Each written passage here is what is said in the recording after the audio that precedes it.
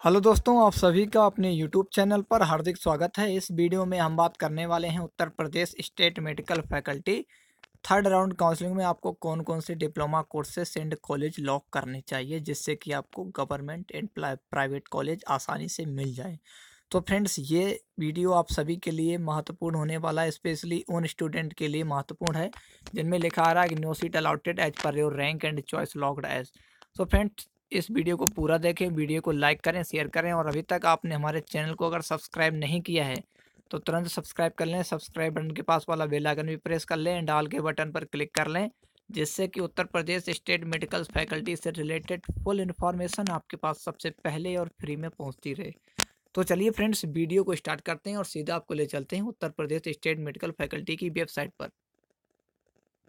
तो friends, finally हम लोग आ चुके हैं Uttar Pradesh state medical faculty की वेबसाइट पर। जैसा कि आप सभी फ्रेंड्स जानते हैं कि सेकेंड राउंड काउंसलिंग का आज लास्ट डे है। आज के बाद सेकेंड राउंड काउंसलिंग अलाटमेंट धारक कोई भी स्टूडेंट किसी भी कॉलेज में एडमिशन नहीं करा पाएगा। ये बात अलग है, किसी कॉलेज में सुनने सुनने में आया कि के जी एम जी ने के जी एम यू में कहा गया है कि चार को एडमिशन होगा, लेकिन आप कॉलेज में संपर्क कर लीजिए। एक तारीख के बाद ये ऑथोराइज नहीं है कि आप किसी का एडमिशन ले सकें। अब बात करते हैं कि हमें थर्ड राउंड काउंसलिंग के लिए किस टाइप के कॉलेज चुनने चाहिए और कौन कौन से डिप्लोमा कोर्सेज चुनने चाहिए जिससे कि हमें आसानी से गवर्नमेंट एंड प्राइवेट कॉलेज मिल जाए। तो फ्रेंड्स सबसे पहले चलते हैं एक नए नोटिफिकेशन के बारे में जो है तो पुराना, लेकिन आपको देखना ज़रूरी है, बहुत इंपॉर्टेंट है। तो फ्रेंड्स, ये नोटिफिकेशन है जो सीटों की संख्या बढ़ाई गई है ई डब्ल्यू एस कोटा लागू होने के बाद उसकी। अब बात करते हैं कि मैं आप लोगों को इसका, इसको क्यों दिखा रहा हूँ? तो फ्रेंड्स, इसका और इस वीडियो के साथ बहुत संबंध है। क्योंकि Uttar Pradesh state medical faculty की first and second round counselling लगभग समाप्त हो चुकी है। आज सेकेंड राउंड काउंसलिंग का लास्ट डे है। तो जो स्टूडेंट में अभी तक लिखा आ रहा है कि no seat allotted as per your rank and choice locked as, ना तो उनका फ़र्स्ट में हुआ है और ना ही सेकेंड में हुआ है।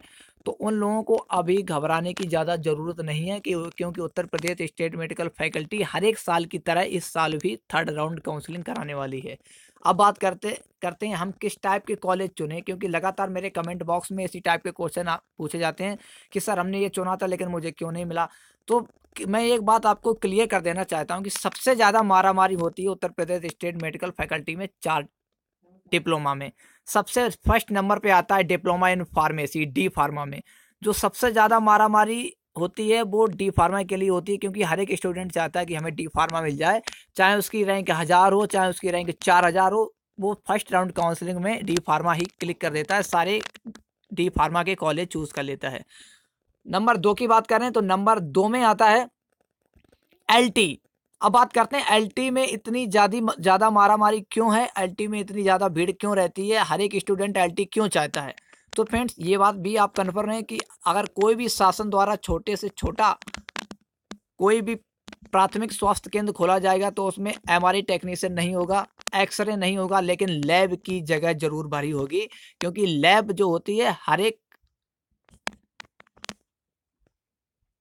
हॉस्पिटल की बैकबोन मानी जाती है। तो कोई भी छोटे से छोटा अगर स्वास्थ्य केंद्र खुलेगा तो उसमें लैब की जगह ज़रूर पब्लिश होगी। और यही कारण है कि उत्तर प्रदेश में सबसे ज़्यादा जो वैकेंसी निकलती है, वो लैब टेक्नीशियन की निकलती है। और सबसे कम अगर निकलती है तो वो निकलती है एक्सरे टेक्नीशियन की।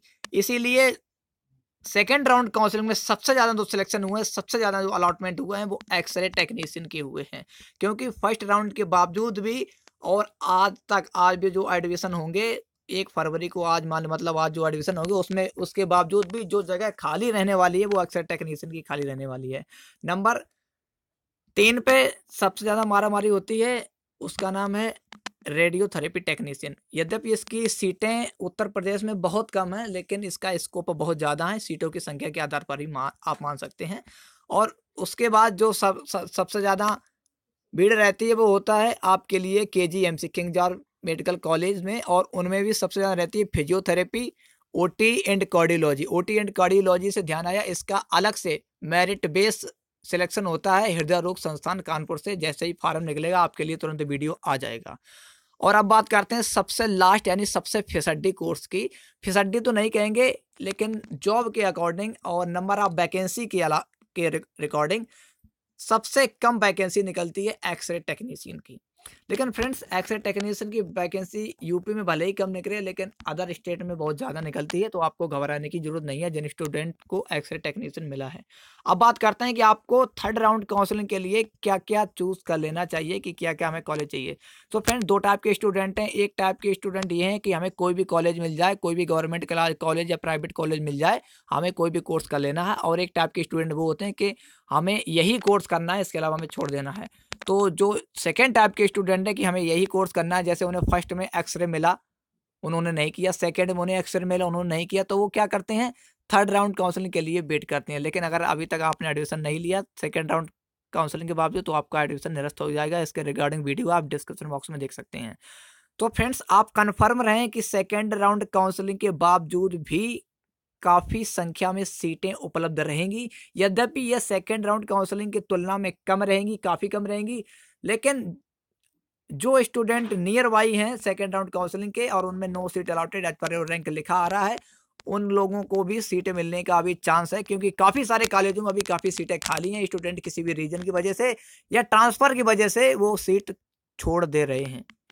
तो फ्रेंड्स, थर्ड राउंड काउंसलिंग के लिए जो स्टूडेंट चाह रहे हैं कि कोई भी कॉलेज गवर्नमेंट मिल जाए तो फ्रेंड्स आपके लिए सबसे अच्छा चांस है कि आप एक्सरे टेक्नीशियन फुल फ़ील्ड कीजिए, चाहे वो प्राइवेट में हो या एक्सरे में हो। मुझे पूरा विश्वास है आपको एक्सरे मिल जाएगा। ये आप, लेकिन फाइनली ये डिपेंड करता है आपके चॉइस पर कि आपको क्या करना है, क्या नहीं करना है। और उसके बावजूद जो एल टी चाहते हैं एल टी बहुत कम सीटें अवेलेबल हैं, बहुत कम L T second round counselling में लगभग फुलफिल्ड हो चुकी हैं। लेकिन एल का सीटों की बात करें तो एल की सीटें हैं, अस्सी से लगभग सीटें अवेलेबल रहेंगी, ढाई सौ तक एल की सीटें अवेलेबल रहेंगी, क्योंकि जो ट्रांसफ़र चाहते हैं एल से फार्मेसी में, वो ट्रांसफ़र कराएँगे अपना थर्ड राउंड काउंसलिंग में। लेकिन आप ध्यान रखें, जो भी करें अपने मन से करें, जो भी लॉक करें अपने मन से करें, क्योंकि ये आपको करना है, ये हमें नहीं करना है। लेकिन जो स्टूडेंट चाह रहे हैं, हमें कोई भी कोर्स मिल जाए, कोई भी डिप्लोमा मिल जाए, जिससे हमें हम प्राइवेट या गवर्नमेंट कर लें और उसके बाद में समायोजित हो जाएँ तो उनके लिए मैं एक बढ़िया अपॉर्चुनिटी दूँगा कि आप एक्सरे लॉक कीजिए। एक्सरे में आपका ज़्यादा से ज़्यादा चांस रहता है कि इनमें काफ़ी सारे स्टूडेंट छोड़ देते हैं क्योंकि वो चाहते हैं कि रैंक रैंक ज़्यादा होने के बावजूद भी फार्मेसी चाहते हैं, उन्हें फार्मेसी नहीं मिलता है या आई नहीं मिलता है। तो फ्रेंड्स, फाइनली ये वीडियो आपको कैसा लगा कमेंट करके ज़रूर बताइए। और जो डिप्लोमा के से निकले हैं, उनमें भी सीटें अभी खाली हैं। बात करते हैं डिप्लोमा इन सैनिटेशन में खाली हैं, इमरजेंसी इन ट्रामा केयर में खाली हैं। And diploma in blood transfusion में खाली हैं और सीटें फुलफिल्ड हो चुकी हैं फिजियोथेरेपी इसमें। सो so फ्रेंड्स आप जो भी सीट फुलफिल्ड करें, एक बार कमेंट बॉक्स में काफ़ी स्टूडेंट वहाँ ऑलरेडी सिलेक्टेड हो चुके हैं। अलॉटमेंट मिल सका उनसे कंफर्म कर लें कमेंट बॉक्स में काफ़ी स्टूडेंट आपको मिल जाएँगे। हम भी आपको उनसे संपर्क कराएँगे। जिससे कि आपको पता चल सके कौन कौन से कॉलेज में कितने कितनी सीटें खाली हैं और आपके लिए जल्द से जल्द एक वीडियो आने वाला है जिसमें बताऊँगा कि कौन कौन से कॉलेज में कौन कौन से डिप्लोमा कोर्सेज में कितनी कितनी सीटें खाली हैं। उसी के अकॉर्डिंग आप थर्ड राउंड काउंसलिंग के लिए सीट लॉक कीजिएगा। Thanks for watching and subscribe my channel.